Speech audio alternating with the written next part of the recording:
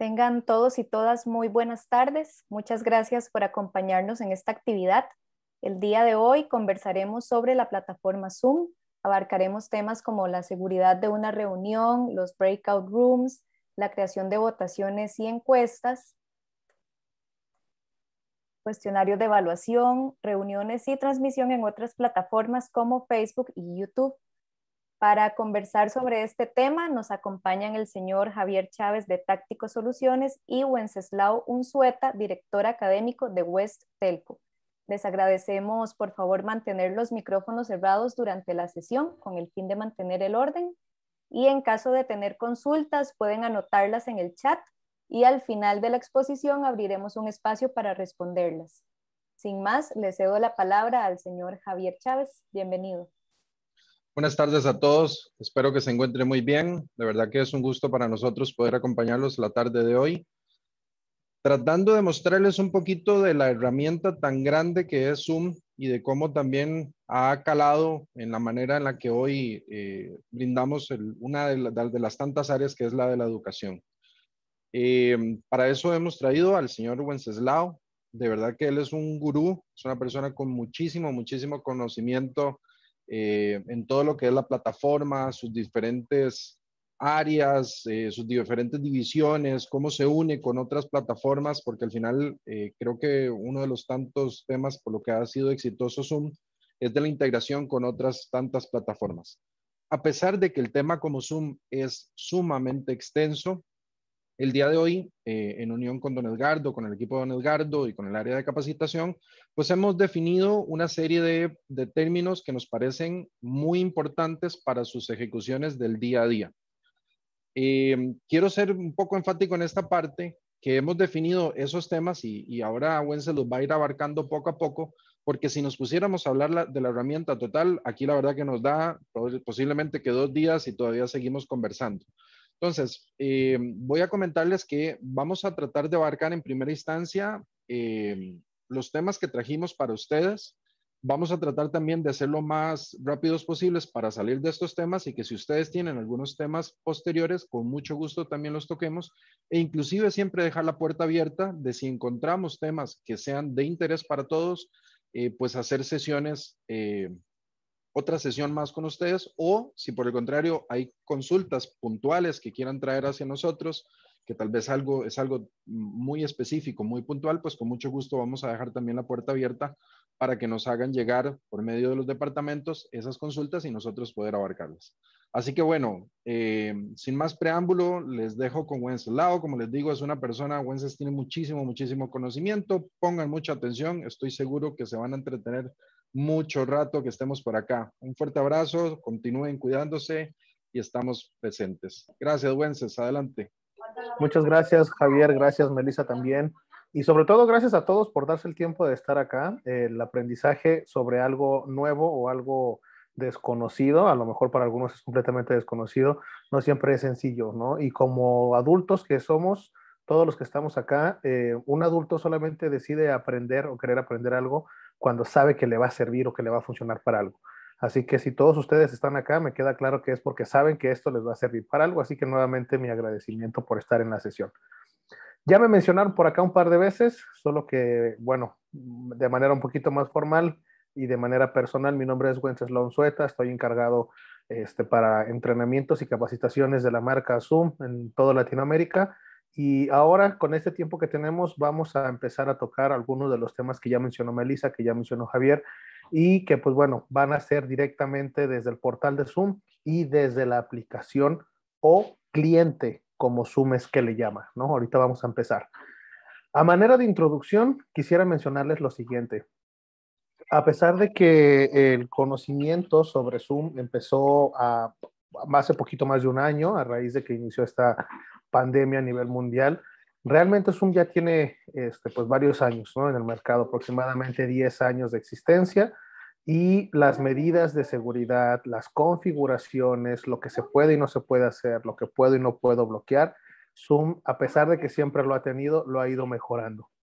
Quiero empezar con el tema de seguridad, con el tema de cómo agendar una reunión de manera rápida, eficiente y de manera segura.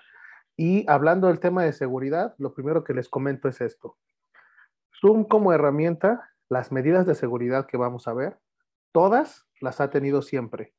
¿Qué es lo que ha pasado de hace un año a la fecha?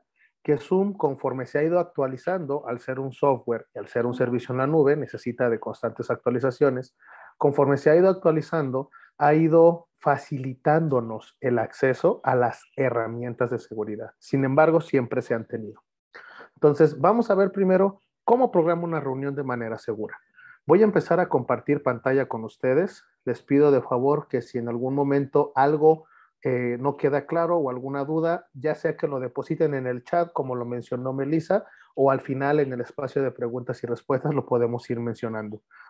Primero, todos en algún momento cuando empezamos a usar la plataforma nos dijeron descarga Zoom, ya sea en tu computadora, en tu tablet, en tu celular.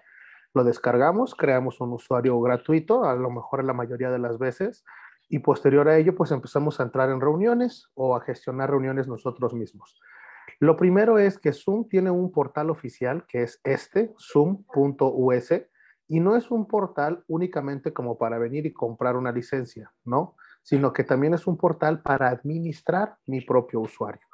Una vez que yo entro a zoom.us y le doy clic a ingresar, voy a poder entrar yo con mi correo electrónico y con mi contraseña a mi perfil de usuario todo este apartado del lado izquierdo que ustedes van a ver como personal son las configuraciones que ustedes a nivel de usuario pueden habilitar o inhabilitar, agregar o quitar información, agregar o quitar funciones. Algo extraordinario de Zoom es que todo es configurable. ¿Quieres poder utilizar un fondo como el que yo tengo? Se configura.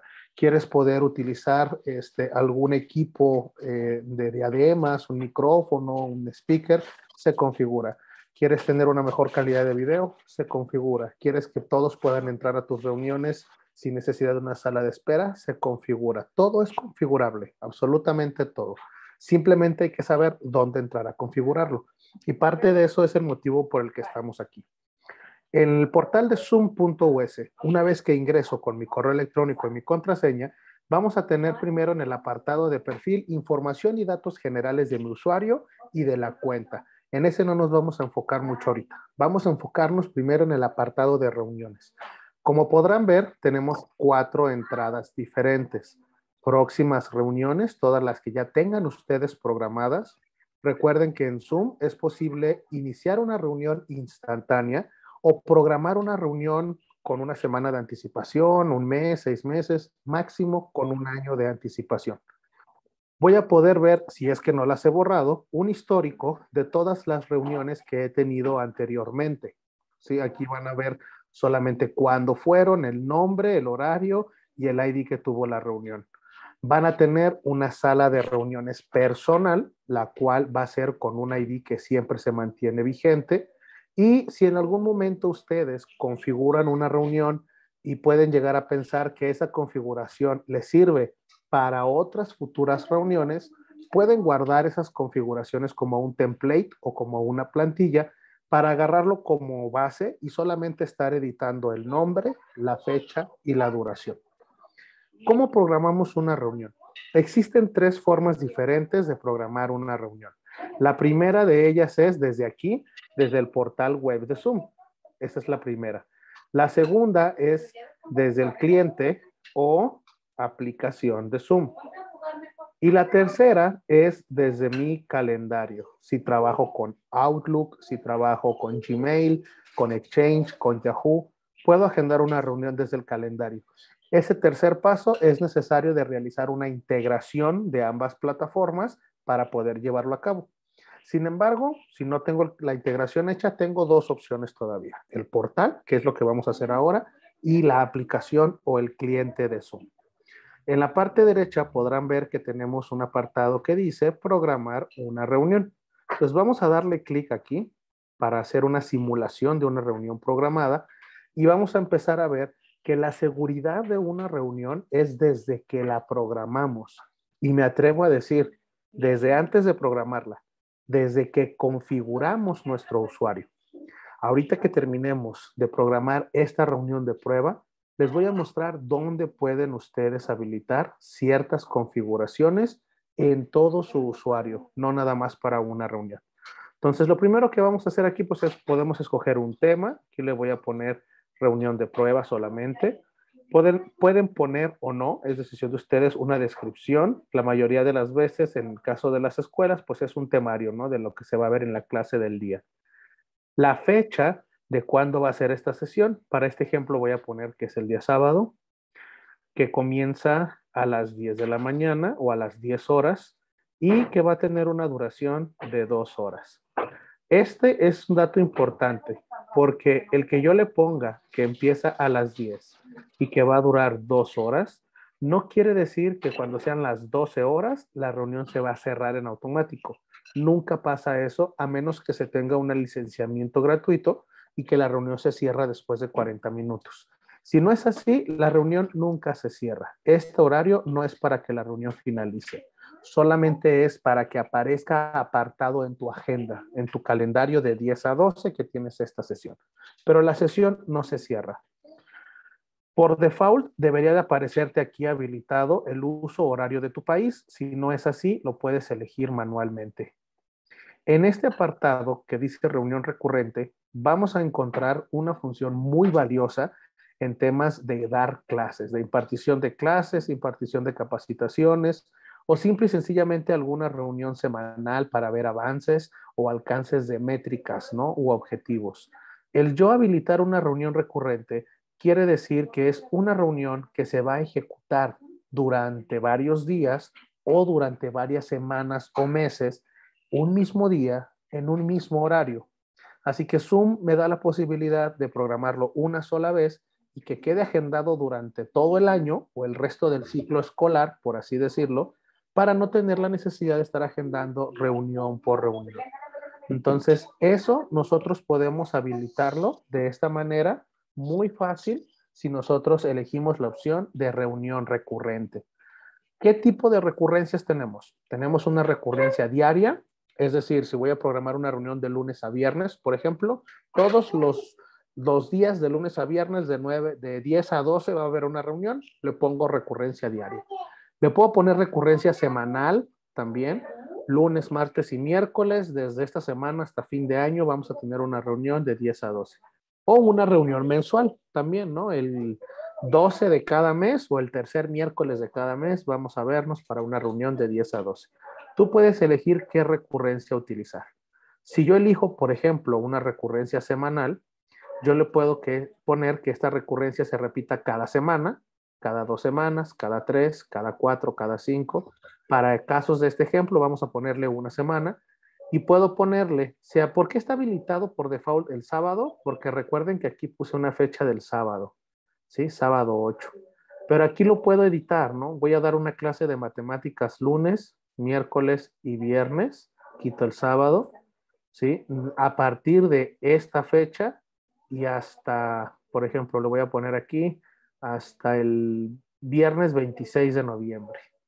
Y en el momento que yo vaya a guardar esta reunión, me va a aparecer en mi calendario con ID, contraseña y todo lo que le ponga, programado desde esta semana y hasta el viernes 26 de noviembre, en automático todas las sesiones. No tengo que programar más. Entonces, esta función de recurrencia es bastante interesante. Tenemos una opción aquí de inscripción o registro. Esta yo siempre se las recomiendo y no solamente por el tema de tener eh, un filtro de seguridad, de saber quién entra y quién no, o de tener un registro de asistencia de quién estuvo y quién no estuvo, sino también por el tema de los reportes. Si ustedes quieren poder generar reportes una vez finalizada la sesión, es necesario que se haya habilitado la casilla de inscripción. Si no, no es posible generar reportes. Entonces, habilitamos la de inscripción y como tenemos habilitado lo de reunión recurrente, nos va a pedir elegir entre tres distintas maneras de registro o de inscripción. ¿Cuáles son? La primera es, me registro una vez y puedo entrar a todas las sesiones. La segunda es, me debo de registrar siempre cada vez antes de cada sesión. Esta es la más recomendable para tener una relación de quién entra y quién asiste a cada uno de los eventos o de las sesiones. Y la última es, me registro una vez y yo elijo a cuáles de las sesiones entrar. Insisto, si la reunión es recurrente, nos va a dar tres opciones de inscripción. La más recomendable, no es que así tenga que ser, sino la más recomendable es que se registre la persona, el asistente o el estudiante siempre antes de entrar a cada clase o a cada sesión. Si tengo yo guardadas algunas plantillas, pues me va a preguntar si quiero utilizar alguna de ellas para ya no continuar con el resto de la configuración. Siguiente punto. Si pueden notar, el siguiente punto es tal cual seguridad. Cuando nosotros programamos en una reunión, Zoom pone a nuestra disposición tres medidas de seguridad muy importantes. La primera, una contraseña o código de acceso la cual ustedes aquí pueden modificar como ustedes gusten. Pueden elegir si es numérico o alfanumérico. Pueden elegir también si tiene que tener mayúsculas o minúsculas o caracteres especiales y hasta de cuántos dígitos debe de ser la contraseña. ¿sí? Ustedes pueden elegir entre todas esas opciones. Pero repito, pueden simplemente cambiarla o dejar la que por default Zoom te otorga. Nos habilitan también una sala de espera que es un espacio previo a la sesión. Ustedes cuando entraron a este ID, a esta sesión, estuvieron en una sala de espera. A pesar de que todavía no nos veíamos, no nos escuchábamos, no nos presentábamos, eh, la sala de espera ya es un espacio dentro de la reunión. Es decir, que queda un registro de a qué hora entraste a la sala de espera, a qué hora saliste de la sala de espera para ingresar a la sesión. ¿Sí? La sala de espera, insisto, aunque no nos vemos todavía y no nos escuchamos, ya es un espacio dentro de la reunión. Es como cuando vas al médico, ¿sí? Que vas a consulta y en cuanto llegas no te pasan de inmediato con el médico, ¿no? Te dejan en una sala de espera, pero es un espacio ya dentro del consultorio. Entonces, ya el médico, si se asoma por la puertita de su, de su oficina, ya te puede ver que estás ahí sentado. Acá es igual, ¿sí? Es un momento dentro de la sesión, pero todavía no nos vemos. Pero ya dejas una huella y un registro de a qué hora ingresaste a la sala de espera. Esta sala de espera la puedes tú configurar, le puedes poner un branding, le puedes poner tu logo, le puedes poner un mensajito, le puedes poner, este, automáticamente va a aparecer el nombre de la sesión y quién es el anfitrión, pero puedes poner algún tipo de mensaje. En breves momentos, gracias por asistir a esta sesión, en breves momentos vamos a dar inicio con la misma, ¿no? O, algo así. Y poner un logotipo, también lo puedes hacer. Y el tercer filtro de seguridad que viene en este apartado se llama requerir autenticación. Este requerir autenticación puede ser de dos formas. Uno, que la persona que entra a tu sesión o todos tus invitados tienen que tener credenciales en Zoom, tienen que tener un usuario.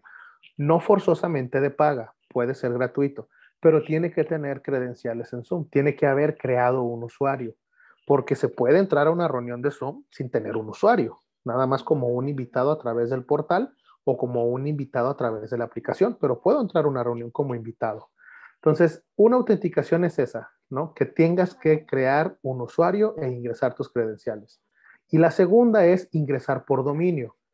Por ejemplo, solamente los que tengan dominio arroba suescuela.edu.com van a poder entrar a mi sesión. Entonces puedes poner estos dos tipos de autenticación.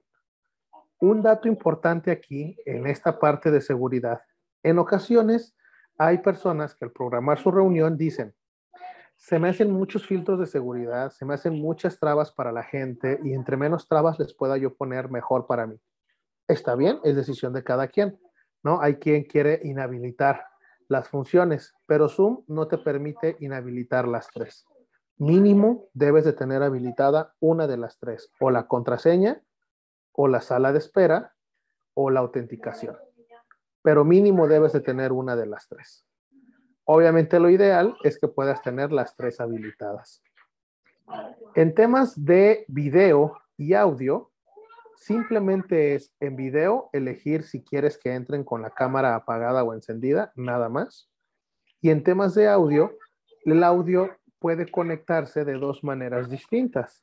Por una llamada telefónica a un número de tu país de Zoom o a través de Internet, ya sea el internet Wi-Fi o datos móviles que estés utilizando, ¿no? O alguna conexión de Ethernet directa que tengas a tu computadora.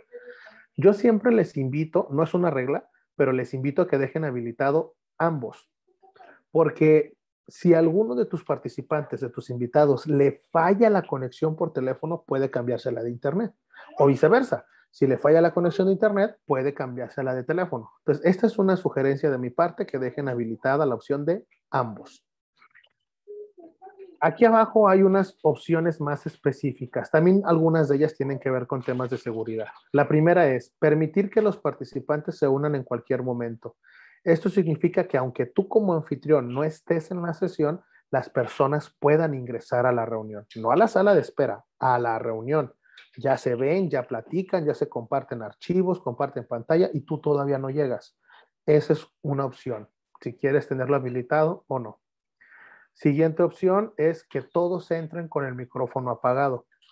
No quiere decir que no lo vayan a poder prender, lo van a poder prender si tú les das permiso. Ahorita vemos ese apartado de seguridad. Pero de inicio todos entran con el micrófono apagado. Esto es configurable. Preasignación de sala para grupos pequeños. Esto es uno de los temas que vamos a ver el día de hoy, así que por el momento me lo voy a saltar, ya que le vamos a dar un, espacio completo a hablar de esto. ¿no? Por el momento me lo voy a saltar. Eh, grabación de manera automática. Si eres usuario gratuito de Zoom, puedes grabar solamente de manera local en tu dispositivo, desde donde te estés conectando a la sesión. Si eres un usuario de paga, vas a tener disponible almacenamiento en la nube para que puedas grabarlo. Si tú habilitas grabar la reunión de manera automática, en cuanto la reunión se inicie, a partir de ese momento se va a comenzar a grabar.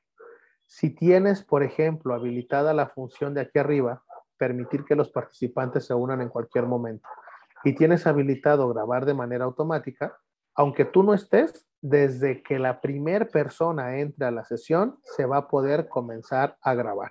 ¿sí? Hay una pregunta muy interesante que voy a responder ahora mismo. Dice así, si se habilita la opción de autenticación, esto implica que si un usuario no utiliza la cuenta de Zoom o de la institución, no podrá asistir a la reunión Efectivamente, Carlos, eso significa, si yo habilito la opción de autenticación y una persona no se loguea con su usuario de Zoom y quiere entrar nada más como invitado, no va a poder ingresar. Recuerden que la autenticación puede ser o la de loguearte como usuario o la de dominio. No quiere decir que son las dos. Tú eliges cuál de las dos. Pero es correcto, Carlos. No va a poder entrar a la sesión si no cumple con una de esas dos. Entonces, les decía yo, la grabación comienza a partir del momento en el que se incorpore la primer persona a la sesión, seas tú o no seas tú. El siguiente punto es un dato eh, un poquito más técnico, pero voy a procurar explicarlo de la mejor manera.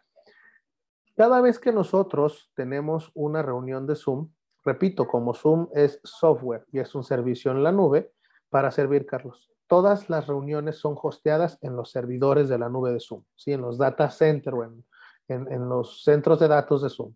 Entonces, Zoom tiene como 18 centros de datos a nivel mundial y cada vez que yo inicio una reunión, automáticamente mi reunión se hostea en uno de esos centros de datos. Zoom me da la opción a mí de yo habilitar algunos centros de datos adicionales, elegir algún otro de los que están en Zoom yo en mi cuenta tengo habilitados estos cuatro nada más para que aparezcan aquí como ejemplo. Eh, para que si llega a fallar el centro de datos principal en el que mi reunión se está hosteando, yo habilite a cuál de otros de los 18 que hay se cambie el hosteo de mi sesión. Si se mude de manera inmediata. Si hay sobrecupos, si, si hay algún mantenimiento, etcétera. Yo puedo elegir a cuáles de los centros de datos que existen mando el hosteo de mi reunión de Zoom. Puedes inclusive bloquear que desde estos países sí pueden entrar a mis reuniones y desde estos países no pueden entrar a mis reuniones, países o regiones. Te da la opción Zoom de hacer eso en la parte de autorizar o bloquear la entrada de usuarios procedentes de regiones o países específicos. Llegando a la parte final, tenemos dos puntos muy importantes. El primero es anfitrión alternativo. El anfitrión alternativo muchas veces se llega a confundir con lo que es un coanfitrión y no es lo mismo. En una reunión de Zoom como esta, solamente puede existir un solo anfitrión. y es, en pocas palabras, la persona que programa la sesión. Pero puede haber muchos coanfitriones. El anfitrión o host le puede dar permiso a uno, a dos, a tres o a varios participantes de la reunión de que tengan acceso a algunas funciones y entonces de esa manera los convierte en coanfitriones. Pero eso se asigna ya estando en la reunión y cualquiera puede ser coanfitrión. Sin embargo, el anfitrión alternativo debe de cumplir con dos requisitos fundamentales. El primero es que sea un usuario de paga, no gratuito, y el segundo es que sea un usuario que pertenezca a la misma cuenta que el anfitrión, que la persona que está programando la sesión. ¿Esto por qué? Porque el anfitrión alternativo solamente puede ser asignado aquí al momento de programar una reunión y es con la intención de que si el anfitrión no puede iniciar la reunión, la inicie esta persona a nombre del anfitrión. Yo aquí solamente puedo poner a compañeros que pertenezcan a la misma cuenta que yo. ¿sí? Por ejemplo, mi compañero Daniel Blanco. Yo pongo aquí a Daniel Blanco como anfitrión alternativo y al momento de guardar la reunión, Daniel va a tener permiso de mi parte de iniciar la reunión a nombre mío. El anfitrión sigo siendo yo, pero le estoy dando el permiso de que inicie la reunión a nombre mío, ¿sí? Entonces, eso es eh, lo que es el anfitrión alternativo, ¿sale? Y por último, la función de interpretación, esta que está aquí abajo. El primer comentario que hago es una aclaración. No es inteligencia artificial. Zoom todavía no trabaja con inteligencia artificial. Quiere decir que esto no es una función que Zoom haga hay que asignar a una persona que está en la reunión como intérprete, como traductor, y lo que Zoom hace es habilitar más canales de audio, no solamente el principal por donde estoy hablando yo ahorita, sino que habilita más canales de audio para que otra persona diga todo lo que yo estoy diciendo, por ejemplo, en español, lo traduzca a inglés. Y entonces tú en la reunión puedas elegir el canal de audio de inglés y de esa forma escuches la reunión con la voz del intérprete, no la mía, sino con la que está llevando a cabo la interpretación. Así es como trabaja esta función de interpretación de idiomas. Voy a guardar la reunión y una vez que le damos clic a guardar, aquí va a aparecer un resumen de lo que acabamos de configurar. Aprovechando que estamos en este resumen, voy a tocar dos puntos importantes que vienen en el temario a ver en esta sesión. La primera de ellas es las votaciones. Las votaciones van a venir en la parte de aquí abajo, como podrán ver, me voy a regresar arriba. Una vez que le doy clic a guardar, Zoom me muestra un resumen de la reunión que acabamos de programar. Puedo descargar el evento para agregarlo a mi calendario si es que no tengo hecha la integración todavía. Puedo ver aquí el ID, puedo ver aquí la contraseña o el código de acceso. Este es el enlace para entrar al registro. Recuerden que habilitamos la función de registro. Y esto es un resumen nuevamente, insisto, de lo que acabamos de programar. Hasta abajo vienen algunas configuraciones adicionales y una de ellas es votación. La votación puedo yo crearla desde que estoy programando la reunión, o sea, en este momento le puedo dar aquí agregar o cuando ya estoy en vivo en la sesión, puedo crearla o programarla, pero solamente el anfitrión. Los coanfitriones no van a poder hacerlo, solamente la persona que programó la reunión. Entonces, aquí le voy a dar clic yo, agregar. Y esta votación se programa de la siguiente forma. Primero le ponemos un título, votación 1 podemos elegir si las respuestas quiero que sean anónimas o quiero saber quién respondió cada una de las preguntas. Dejo por aquí una pregunta, ¿no? Em, espero no tener por acá aficionados muy futboleros, nada más es un ejemplo. Este, ponemos si quiero que sea de opción única o que sea de opción múltiple, ¿sí? Y aquí elijo yo algunas respuestas, ¿sale? Alemania, Brasil, Inglaterra, por ejemplo. Entonces, una vez que ya elegí yo tema, pregunta modo de respuesta y las respuestas, acá abajo tengo dos opciones. Añadir una pregunta más a esta votación o darle clic a guardar. Me voy a votación y puedo agregar una votación nueva. ¿Cuál es la diferencia entre agregarle la pregunta donde estaba hace un momento y guardarla y agregar una votación nueva? Sencillo, que si yo aquí en esta votación pongo una pregunta más, le pongo añadir pregunta, queda guardada la pregunta anterior en la votación 1 y aquí puedo hacer otra pregunta.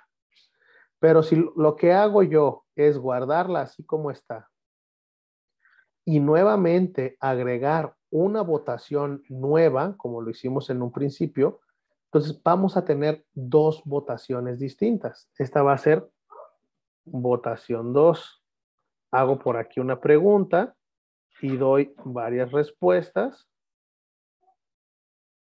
Y al momento de ponerle guardar, vamos a ver en el resumen de las votaciones que tenemos no una, sino dos votaciones.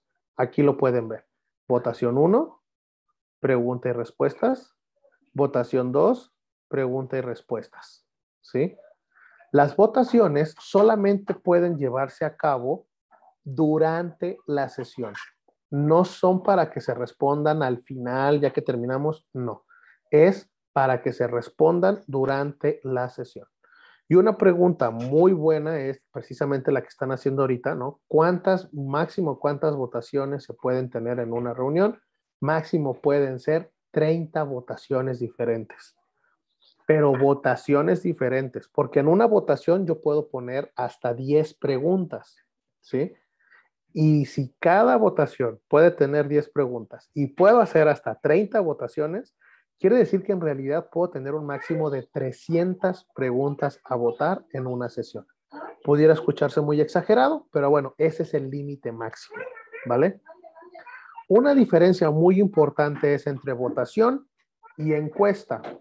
¿Por qué? Porque la votación, insisto, es un momento durante la sesión y la encuesta es una pregunta al finalizar la sesión. ¿Qué te pareció? ¿Te gustó el contenido? ¿Quieres darle seguimiento? ¿Quieres que nos pongamos en contacto contigo? En una escala del 0 al 10, ¿qué te pareció la información, el ponente, el material, etcétera? Eso es una encuesta. Y esas encuestas no existen para meetings o para reuniones, solamente existen para webinars o seminarios web. Aquí en meetings o reuniones solamente tenemos el apartado de votación. Tenemos aquí también la opción de transmisión en vivo. Esta opción de transmisión en vivo puede ser Facebook, Workplace de Facebook, puede ser YouTube, puede ser Twitter, puede ser LinkedIn, puede ser Instagram, puede ser cualquier plataforma, cualquier plataforma de Internet que trabaje con el protocolo RTMP, que es el protocolo de transmisiones por streaming. ¿Cómo se configura? De igual puedo hacerlo de dos formas. Una vez programando la reunión, aquí puedo darle clic a configurar servicio de transmisión y agregar la URL y la clave de transmisión dependiendo si es Facebook o YouTube, en este ejemplo, o directamente en la reunión, ya estando en la reunión en vivo, tenemos un apartado que es para transmitir por streaming. Un punto importante es que solamente se puede transmitir por una plataforma de manera simultánea. Es decir, o Facebook o YouTube, pero no puedo transmitir por streaming en las dos al mismo tiempo. Estoy en mi reunión de Zoom más la transmisión por Facebook. O estoy en mi reunión de Zoom más la transmisión por YouTube. Entonces, una vez más, puedo personalizarlo aquí al momento de que ya programé la reunión o estando en la sesión en vivo, me va a aparecer una opción que dice transmitir por Workplace, Facebook, YouTube o personalizado, ¿no? Transmisión personalizada. Ok, ahora, ya vimos cómo programar una reunión segura, cómo crear votaciones, eh, las transmisiones por streaming. Ahora vamos a ver el tema de los reportes. Recuerden que les mencioné que los reportes solamente pueden ser generados para, em, perdón, en el caso de que nosotros habilitemos la función de inscripción o registro. Los reportes vamos a poder nosotros generarlos 30 minutos después de haber finalizado la sesión. ¿Qué tipo de reportes podemos generar? Como hay un formulario de inscripción de por medio, yo puedo obtener un reporte que a mí me diga quién estuvo en la reunión. Nombre, apellido, correo electrónico, em, nombre de usuario, a qué hora entró, a qué hora salió, cuánto tiempo duró en la sesión, si estuvo participando en la sesión mediante votaciones o no. Si entró y salió dos, tres o más veces de la sesión, voy a ver todas y cada una de sus entradas y salidas, ¿sí? Entonces, estos reportes vas a encontrarlos de dos formas. Uno, si tu rol de usuario es de administrador, vas a tener este apartado aquí abajo que diga administrador y la parte de reportes la encontrarás en administración de cuenta y aquí dice reportes. Si no eres administrador, si eres un usuario member o miembro, vas a encontrar esta parte de reportes en la parte de personal acá arriba entre grabaciones y configuración. Ahí vas a encontrar el de reportes. Los reportes son una función para usuarios de paga. Un usuario gratuito no puede descargar ni gestionar reportes, solamente los usuarios de paga. Los reportes que pueden generarse siendo administrador son todos estos. Pueden generarse reportes de a diario, donde muestras el número de usuarios o de participantes en una sesión, nada más. Uso, usuarios inactivos, eventos próximos, informes de registro y votaciones de una reunión, informes de registro, votaciones y encuestas de un webinar o seminario web, de telefonía en caso de que se tenga el servicio, reportes de grabación y reportes de asistencia remota. En el caso, por ejemplo, de reunión, supongamos que yo quisiera generar un reporte de esta reunión, ¿no? En, en esta, en la reunión que estamos, yo al darle clic en reuniones, voy a ver todas y cada una de las sesiones que se hayan hosteado en este rango de fecha que yo haya elegido aquí. Si entre tal día y tal día, ponme por favor todas las sesiones que se dieron. Y si yo quiero generar el reporte de alguna, necesito seleccionar aquí la opción del el tema del que yo quiero generar reporte y del lado derecho darle clic a generar.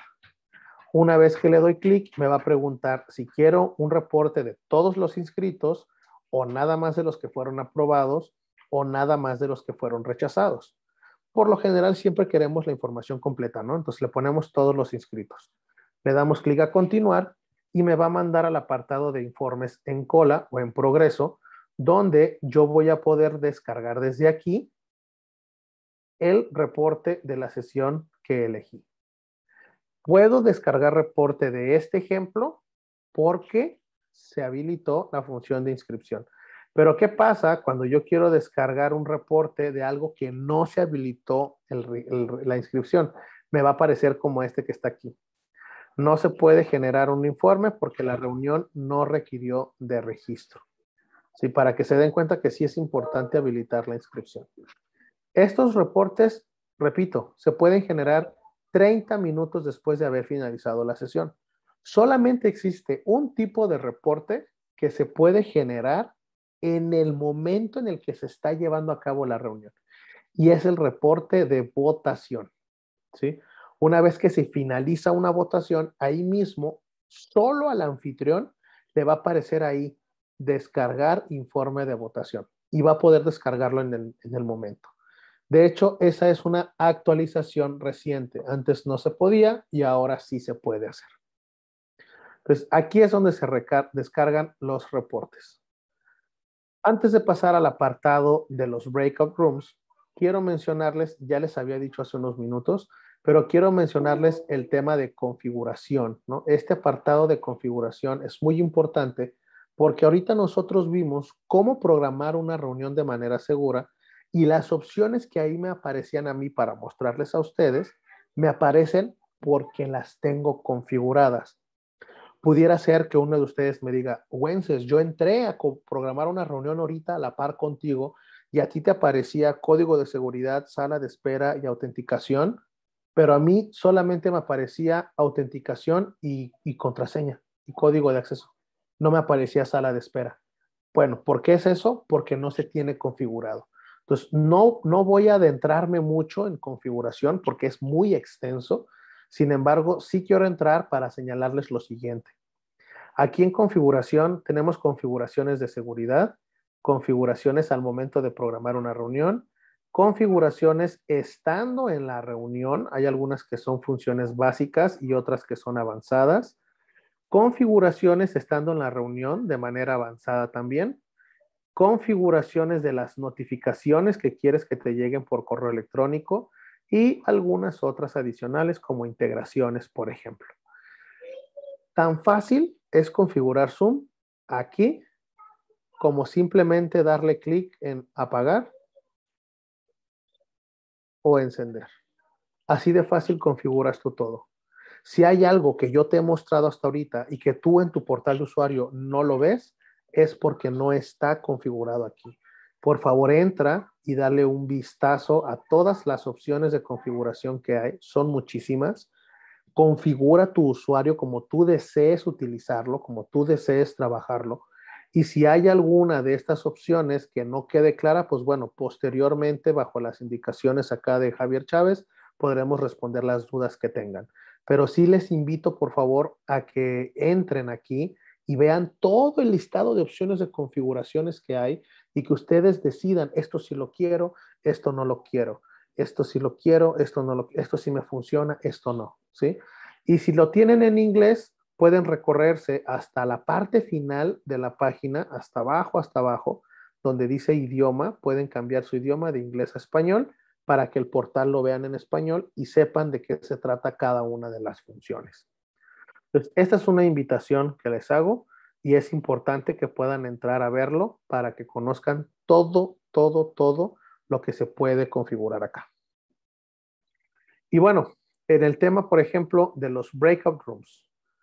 ¿Qué son los breakout rooms? Los breakout rooms son eh, secciones de grupo, a lo mejor ya la mayoría de ustedes les ha tocado participar en alguna o inclusive configurarla. Son este, divisiones que nosotros podemos hacer, ¿sí? Para que en plena sesión dividamos a todos los participantes en pequeños equipos de trabajo, ¿no? En pequeños grupos y darles alguna actividad en particular. ¿Qué reglas existen con el breakout rooms? Hay algunas que son reglas positivas y otras que no tanto. Pero ¿cuáles son ellas? Lo primero es, al momento de que yo configuro una función de breakout rooms, yo elijo si quiero o no que los participantes se puedan estar cambiando de una sesión a otra o de un grupo a otro. O si yo quiero elegir personalmente Melissa, Javier, Carla y Deiner van a estar en tal grupo, ¿no? Edgardo, Ruth, Carlos, Sergio van a estar en el grupo. Yo elegirlo manualmente. O aleatoriamente, ¿no? Que Zoom de manera aleatoria elija en dónde van a estar cada uno de ellos. Entonces tienes esas tres opciones. Una vez eligiendo una de ellas, puedes ponerle un nombre al grupo, puedes cambiar participantes de un grupo al otro e iniciada la sesión de grupos, puedes tú también poner un tiempo, ¿sí? Para que dure la sesión de grupo. Vamos a ponerle 10 minutos, 8 minutos, 15 minutos. Puedes poner un temporizador para que una vez que finalice la sesión de grupos, les aparezca ahí la opción de te quedan, no sé, 60 segundos o 120 segundos o 30 segundos para que termines con tus ideas y podamos ya regresar a la sesión principal visualmente pareciera, pareciera que me saca de la sesión para ingresarme a otra, porque voy a tener todas las funciones, absolutamente todas las funciones disponibles que tengo en una sesión principal. Lo único es que no voy a poder hablar con los demás participantes de otras sesiones. Eso es lo único. ¿Sale? Entonces, eso es un breakout rooms. El breakout rooms se configura también, ¿no? Desde que estamos nosotros configurando una reunión, aquí en el apartado de reunión, aquí yo configuro si quiero tener habilitado el breakout room o no para una sesión. ¿Sale? Me parece que es más bien acá en avanzado. Ahorita llegamos para acá. ¿Sí? Y aquí está, sala para grupos, ¿no? Hay que habilitarlo aquí, esta opción. Y una vez que está habilitado aquí, entonces sí, al momento de estar programando una reunión, y me voy a regresar para acá donde estábamos hace un momento, si al momento de programar una reunión, mm, ¿dónde está nuestra reunión de prueba? Aquí está. Al momento de programar una reunión, si yo elijo la opción de preasignación, porque así se llama, aquí abajo, preasignación de sala para grupos pequeños, puedo yo, desde que estoy programando la sesión, puedo yo ya dejar creados los grupos, ¿sí? Si hice un formulario de registro, ya se inscribieron todos, ese formulario de registro lo descargo y lo vuelvo a cargar aquí. Importar desde archivo USB, lo cargo y una vez que lo cargué, me va a dejar a mí crear salas de grupos. Máximo puedo crear 50 salas o máximo puedo tener 200 participantes en una sala. Uno u otro, ¿sí? Pero este es el máximo de salas, 50. Y al momento de agregar una sala, aquí yo le puedo cambiar el nombre y agregar a los participantes, ¿no? Equipo 1 y agrego otra sala y equipo 2, equipo 3 y estar agregando a los participantes manualmente o con la lista que importé, cualquiera de las dos. Simplemente el archivo debe estar en un formato CSV y aquí mismo donde se carga el archivo te pide cuál es la información que tenga la plantilla para que pueda cargarse sin ningún error. Cuando ya estamos directamente en la sesión, voy a compartir. Pueden ver mi reunión de Zoom que estoy teniendo con ustedes. ¿Me confirman, por favor? ¿Sí la pueden ver? Sí, correcto. Gracias, Melissa. Entonces, una vez que ya estoy aquí en la reunión, supongamos que no preconfiguré cuando programé. Gracias, Vladimir. Sino que lo, se me pasó a hacerlo o por algún motivo decidí dejarlo ya hasta que llegara a la sesión. Si tengo habilitado en configuraciones, aquí abajo me va a aparecer el icono sección de grupos. Yo le doy clic aquí y me da las tres opciones que ya mencioné anteriormente. Automáticamente, manualmente o que cada quien elija la sala donde desea estar. Enseguida voy con la pregunta de Henry. Vamos a ponerla aquí automáticamente.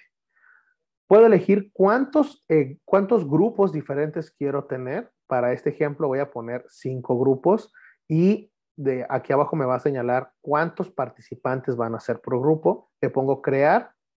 Automáticamente se han creado los 10 grupos. ¿sí? Los participantes, como podrán ver, yo no los elegí. Se eligieron aleatoriamente puedo cambiarle el nombre a la sala o algo, el equipo, ponerle algún nombre. Puedo mover a una persona de un grupo a otro o intercambiar a una persona con una persona de otro grupo, ¿sí? Y como les decía, antes de iniciar donde dice abrir todas las sesiones, yo le doy clic aquí en opciones y puedo habilitar las siguientes opciones. Permitir que los participantes se cambien de sala una vez que ya se les asignó una, sí o no permitir que los participantes regresen a la sesión principal cuando quieran o si no lo habilito, solamente van a regresar hasta que yo lo indique o hasta que se acabe el tiempo. Y mover automáticamente a todos los participantes a la sección de sala. Si este no lo dejo habilitado, en el momento que yo inicio la función, a todos les va a llegar una invitación. El anfitrión te está invitando a participar en un breakout rooms. ¿Quieres participar, sí o no? Te va a dar la opción. Pero si yo le pongo que se muevan automáticamente, en cuanto la inicie, a todos los manda su sección de grupos. Vamos a hacer una sección de grupos ahorita de cinco minutitos nada más para que vean cómo funciona. Cerrar automáticamente la sección de grupos después de, vamos a ponerle ahorita cinco minutos para el ejercicio y puedo habilitar, como les decía, un temporizador para que una vez que finalicen estos cinco minutos, Zoom te indique a ti, te quedan 30, 15, 10, 60 o 120 segundos para terminar lo que estés haciendo porque la sesión ya se va a finalizar. Entonces tienes todas estas opciones. Antes de iniciar la sección de grupos, voy a responder las preguntas que están por acá porque sí me interesa que interactúen entre ustedes como participantes en un breakout rooms. ¿sí? Pregunta de Henry, ¿los 200 participantes es en total o por grupo? ¿sí? Es en total, Henry, ¿sale? Puedes tener, por ejemplo, por eso les decía, son 50 salas o 200 participantes, es uno o el otro. Yo puedo tener, por ejemplo, 50 salas con dos, con dos participantes en cada sala. Pero si quiero tener una sala 51, ya no me va a dejar. ¿Sale? O puedo tener nada más cuatro salas con 50 participantes en cada sala y en total ya son 200. Entonces, hasta ahí llega mi límite. Entonces, es uno o el otro. Y agregando algo más a esta pregunta, Henry, esta, esta, este límite se ha ido actualizando y se va a seguir actualizando. Es decir, que conforme vayamos teniendo más actualizaciones de Zoom, va a ser más la capacidad que nos va a permitir la función. O más participantes totales o más número de salas. Pero ya nos está anunciado en el roadmap de este año que nos van a ir aumentando esas dos capacidades. ¿Sí? Espero haber podido responder tu duda. Entonces, voy a iniciar ahorita el Breakout Rooms y les voy a pedir lo siguiente. Les voy a pedir que platiquen entre ustedes, prendan sus cámaras, prendan sus micrófonos, se compartan pantalla, anoten en las pantallas compartidas para que se den cuenta de que van a tener habilitadas todas sus capacidades colaborativas, todas. Lo único es que no se van a poder cambiar de grupo porque la configuración yo así la puse ahorita, no van a poder salirse cuando ustedes quieran del breakout rooms. Si le dan clic a salir, se van a salir de la reunión en general y no van a poder ver lo que los demás grupos están haciendo. ¿Sale? Entonces, solamente cinco minutos y ahorita los veo de regreso para acá para mostrarles un icono de seguridad y cerrar ya con las preguntas. Vamos a iniciarlo a partir de ahora.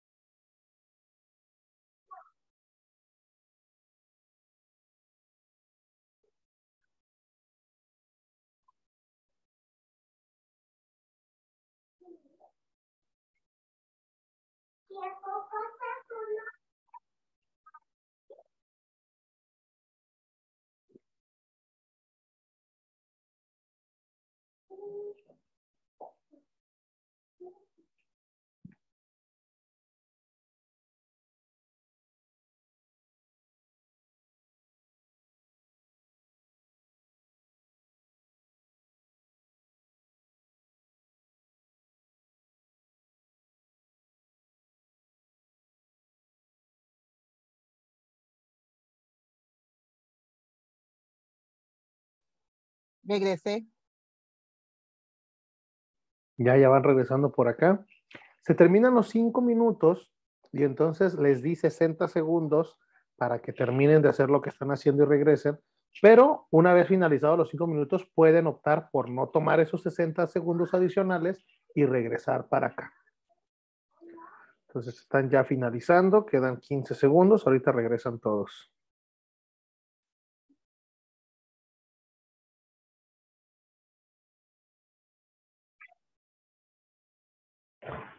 Eh, soldado. Eh, sí, adelante.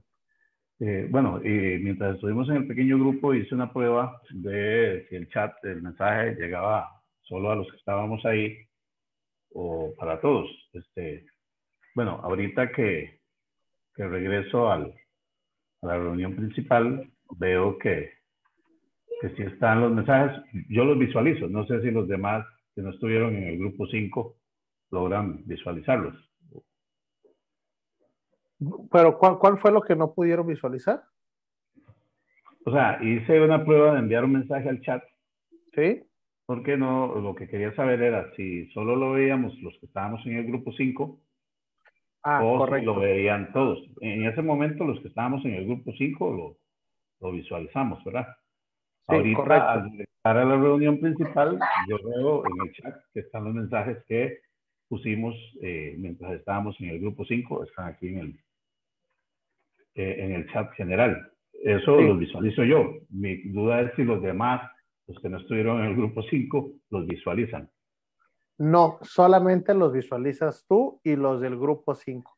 Ok. Cuando, cuando usamos el chat, Alan, haz de cuenta que tenemos el chat para todos Ujú. o en privado con una persona. Pero cuando estoy en un breakout room, en una sección de grupos, y escribo para todos, se refiere para todos nada más en la, en, en la sección de grupos. ¿sí? Entonces, sí, solamente las personas que están ahí lo iban a poder ver Muchas gracias. para servirte. ¿Alguna otra pregunta acá de esta pequeña dinámica, ejercicio? Sesión. Bueno, nosotros de la sala 2 estábamos consultando si se podía grabar internamente. Y bueno, Vladimir nos dijo que con la tecla Windows al R podíamos grabar incluso las sesiones de nosotros y que tal vez nos pudieran compartir este video después. Correcto. En el tema de, de, este, las, las grabaciones, lo que se puede hacer es el anfitrión, si pone a grabar en la nube, se graba solamente en la nube del anfitrión, nada más. Pero el anfitrión puede darle el permiso a los demás participantes de que graben la misma reunión, pero localmente en sus computadoras. ¿sí? Entonces, si tú, por ejemplo, po- pones a grabar y se tiene habilitado el permiso de que puedas grabar, entonces solamente va a ser grabado en tu computadora, más no en la nube de Zoom. ¿Sale? Ok. Eh, ok, hay algunas preguntas. Me voy a dedicar a empezar a responder preguntas, no sin antes eh, mencionarles rápidamente el icono de seguridad que tenemos en una reunión de Zoom. ¿sí? Aquí, por ejemplo, en la parte de abajo, solamente el anfitrión y los coanfitriones van a poder ver este icono de seguridad que está aquí, ¿sí? solamente anfitrión y coanfitriones, que es para dar o quitar algunos permisos a los participantes y establecer algunas características en cuanto a la reunión. Por ejemplo, si ya están todos los que debemos de estar en la reunión, ya no debe de entrar nadie más, puedo bloquearla. y a partir de este momento nadie más puede entrar. Aunque tenga la ID, aunque tenga la contraseña, nadie más va a poder entrar. ¿sí? Puedo eh, habilitar o inhabilitar la sala de espera desde aquí, independientemente si cuando configuré la sesión dejé habilitado esto, puedo habilitarlo o inhabilitarlo una vez más desde aquí. Puedo ocultar las imágenes de perfil de los participantes. Por ejemplo, ahorita Jonathan Esquivel, Alan Fernández tienen una imagen de perfil. Si yo habilito esto, desaparecen sus imágenes de perfil aquí arriba, como pueden ver, y aparecen solamente sus nombres. ¿sí? Entonces, esto también lo pueden hacer desde aquí. Y bueno, como les decía, darles o quitarles algunos permisos a los participantes. Por ejemplo, que puedan o no compartir pantalla, que puedan o no utilizar el chat, que puedan o no cambiarse su nombre de participante, que puedan o no prender el micrófono por ellos mismos, que puedan o no prender la cámara por ustedes mismos, que puedan o no anotar en la pantalla compartida. Estos permisos se dan o se quitan por el anfitrión y por los coanfitriones de la sesión. Y ahora sí, me voy a dedicar eh, a estar respondiendo algunas preguntas por acá. Ah, total, ok. Pregunta, ¿sigue siendo 300 el máximo de participantes por sesión para el caso de usuarios de Zoom con licencia? Bueno, el límite de participantes que puedes tener en una reunión no lo determina únicamente si es eh, licencia gratuita o licencia de paga.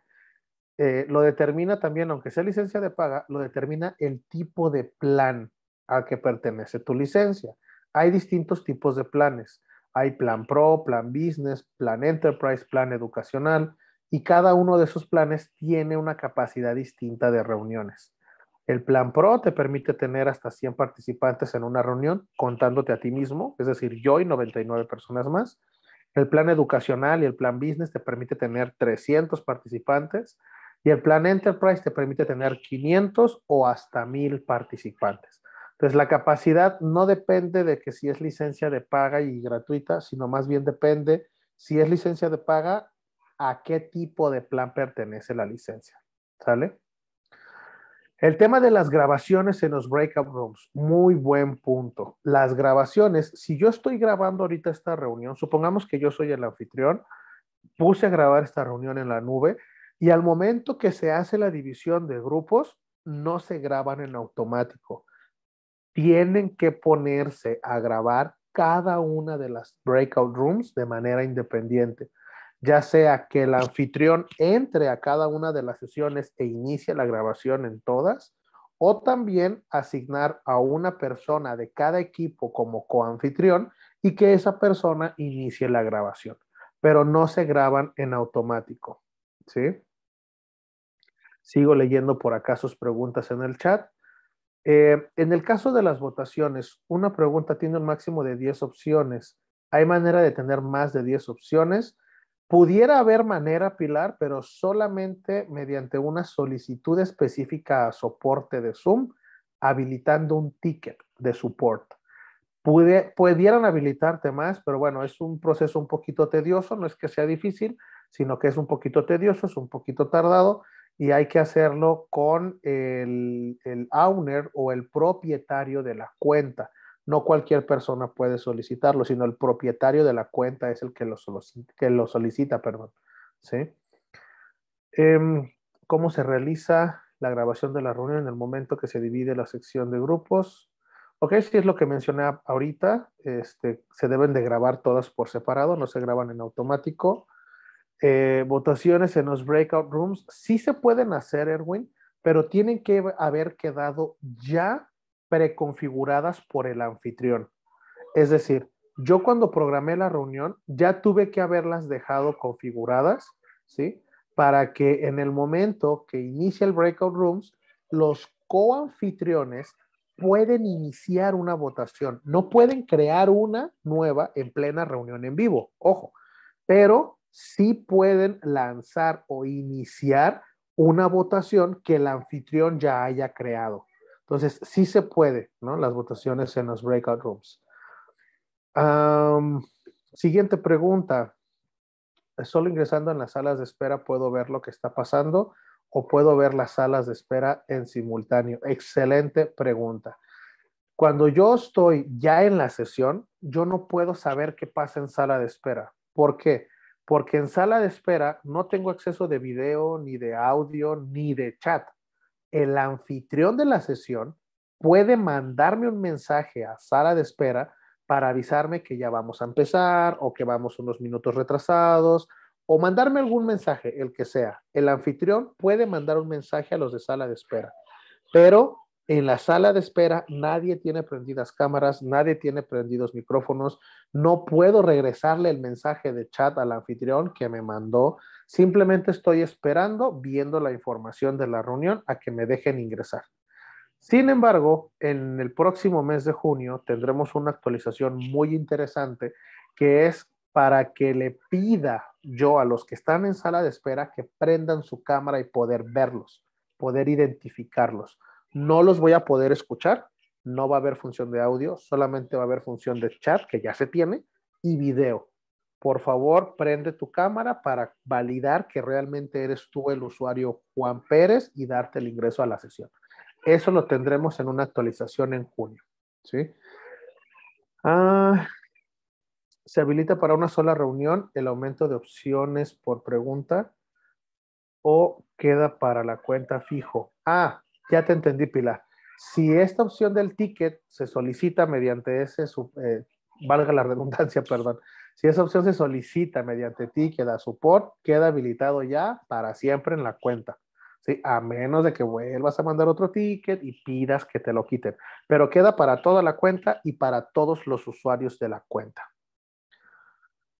Y eh, muy buena pregunta también de, Adler. Este, ¿La votación en los breakout rooms se lanza en todos los grupos o en cada grupo? Se lanza en cada grupo. Es necesario que una persona como coanfitrión en cada grupo haga el lanzamiento de la votación. Yo, por ejemplo, como anfitrión, no puedo lanzar la votación desde la sala principal y que a todos les aparezca. No se puede. Así como no se puede grabar simultáneamente todas si es que no entro yo personalmente a habilitarlos o si no es que yo asigno a un coanfitrión y este coanfitrión en cada sala pequeña pone a grabar o lanza la votación. ¿Sí? Pero sí, tiene que ser este, de manera manual en cada uno de los grupos. Ok, ¿alguna otra pregunta que tengan? Eh, pueden dejarla en el chat, pueden habilitar la función de el raise the hand también, si quieren, para que hagan su pregunta mediante audio, como ustedes gusten. Tenemos otra pregunta, también muy buena, ¿no? Este, Kenneth, gracias. ¿Puedo ver en simultáneo todos los breakout rooms? No, no puedo verlos. ¿Qué es lo único que puedo hacer simultáneamente con todos? Mandarles un chat. Yo como anfitrión puedo entrar al chat, mandar un mensaje a todos los breakout rooms para darles una indicación, para, ah, no sé, solicitarles algo o decirles cuánto tiempo les queda, pero no puedo ver, si yo quiero ver qué está pasando en un breakout room, como anfitrión debo de entrar a esa sección de grupo, salir y entrar a la siguiente, salir y entrar a la siguiente, pero no lo puedo ver de manera simultánea, ¿sale? ¿Cuántos coanfitriones puedo tener? los que sean. Anfitrión, solo uno, nada más. Puedo ceder el anfitrión completo a alguien, pero coanfitriones, yo pudiera hacer coanfitriones a todas las personas que están aquí. A todos los pudiera hacer coanfitriones, ¿sale?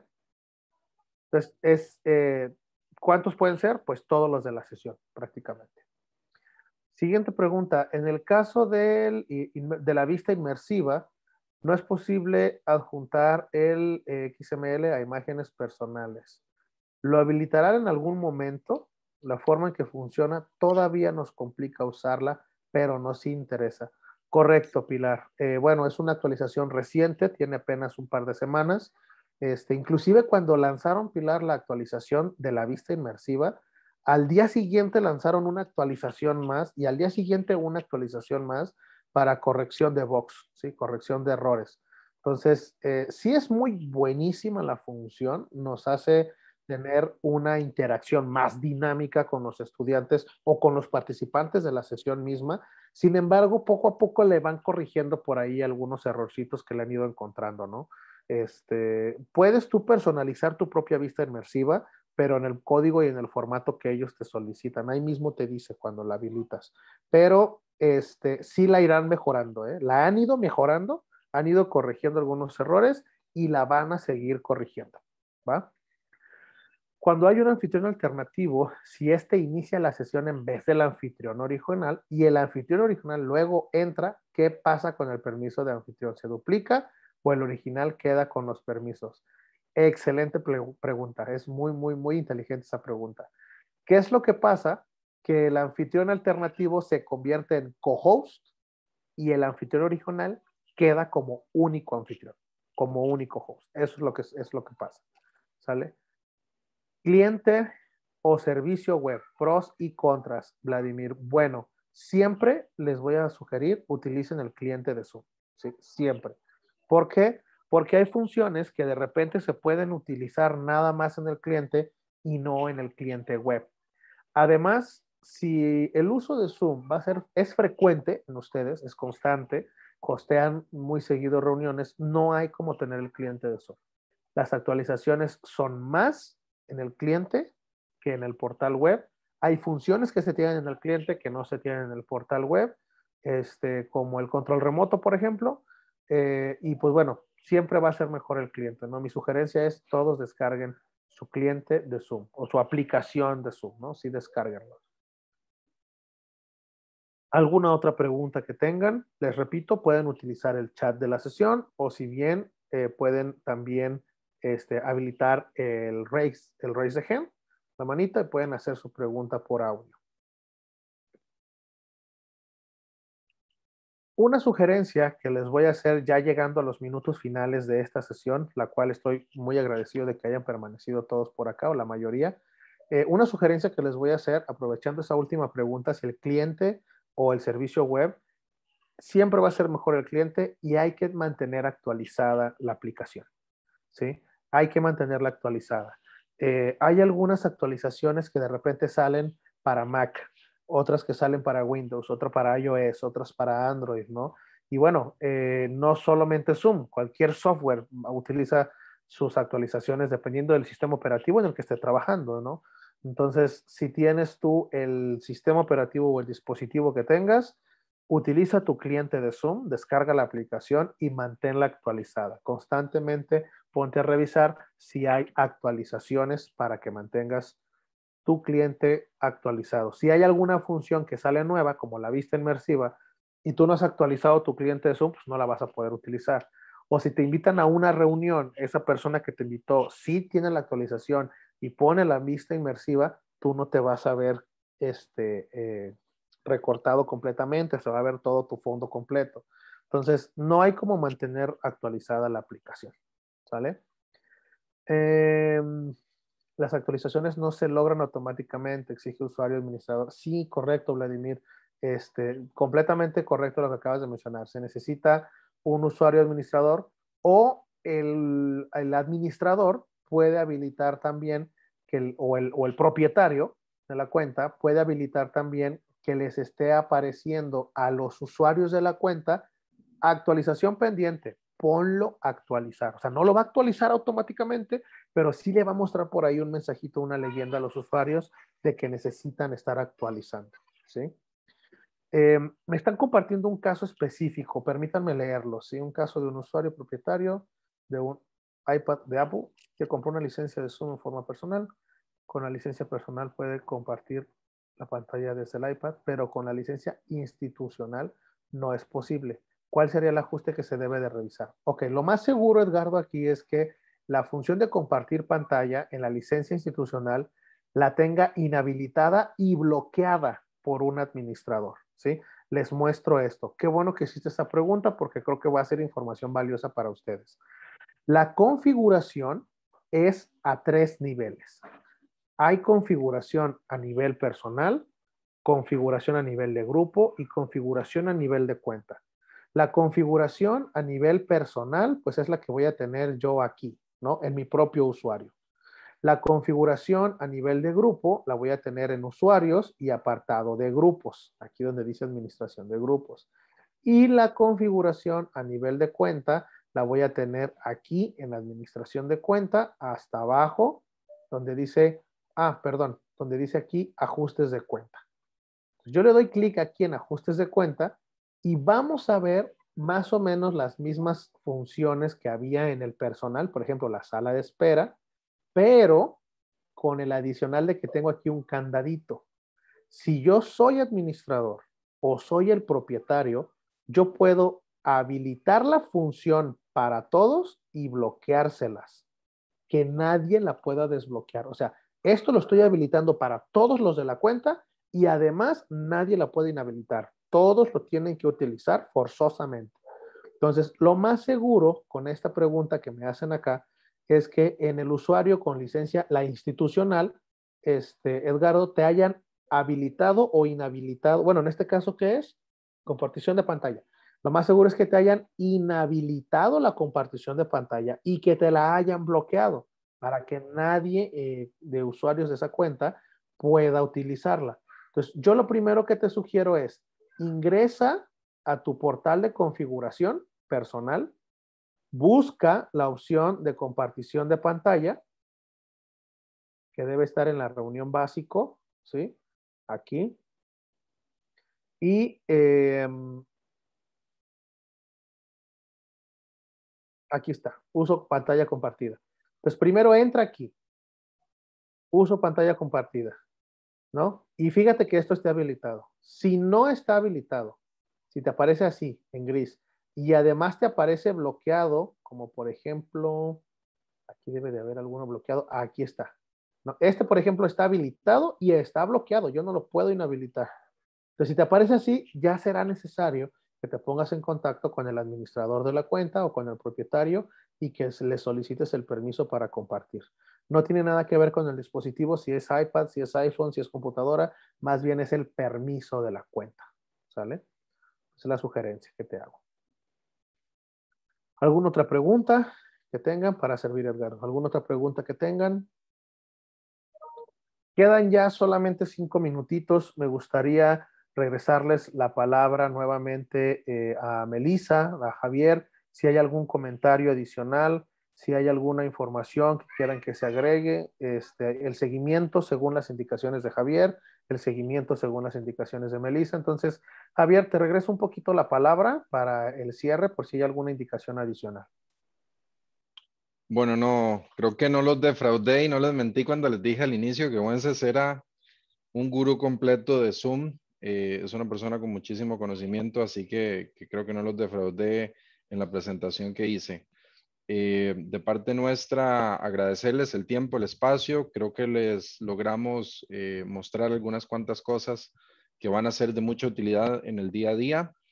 Eh, siempre dispuestos y, tomando también como referencia, si en algún momento quieren hacer otra sesión un poco más profunda sobre la administración y otras cosas, con muchísimo gusto. Vamos a seguir trabajando con, con don Edgardo, con Jairo, con todo el equipo eh, para mejorar y, y, poderles mostrar también todas las actualizaciones que se tienen y todo lo que va sucediendo en el mundo de Zoom. Así que de parte nuestra, muchísimas gracias. Eh, un fuerte abrazo. Continúen cuidándose mucho. Elisa, te paso la palabra. Muchísimas gracias, Javier y Wenceslao, por el tiempo y por compartirnos esta información tan valiosa. Esperamos que haya sido de mucho provecho para todas las personas que nos acompañaron y los invitamos a seguir pendientes de los canales eh, de información de las redes sociales del Centro de Informática para que puedan enterarse de futuras actividades que vamos a continuar realizando. Muchísimas gracias a todos y todas y que tengan buena tarde. Gracias para todos. Excelente tarde. Gracias. Hasta luego. A la orden. Gracias y hasta luego. Gracias. Buenas tardes.